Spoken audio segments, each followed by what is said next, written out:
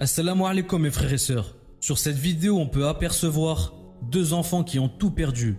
Ils vendaient des desserts dans la rue et sur un accident, ils ont tout fait tomber. C'était leur gagne-pain et malheureusement, ils ne peuvent plus rien vendre. On voit tout de suite un homme descendre de sa voiture pour les aider à relever leur chariot. Des passants qui ont vu la scène ont soutenu l'entraide de l'homme. Et les gens, subhanallah, quel magnifique geste. Ils ont chacun à leur tour donné de l'argent aux deux jeunes enfants pour qu'ils puissent se refaire et continuer à vendre leurs desserts dans la rue.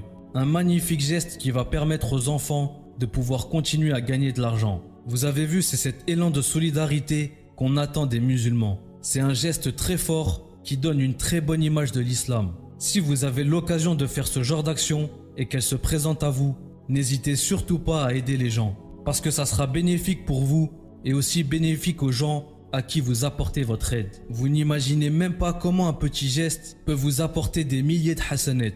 Et vu que vous avez aidé des gens en détresse, Allah peut vous le rendre en beaucoup plus fort.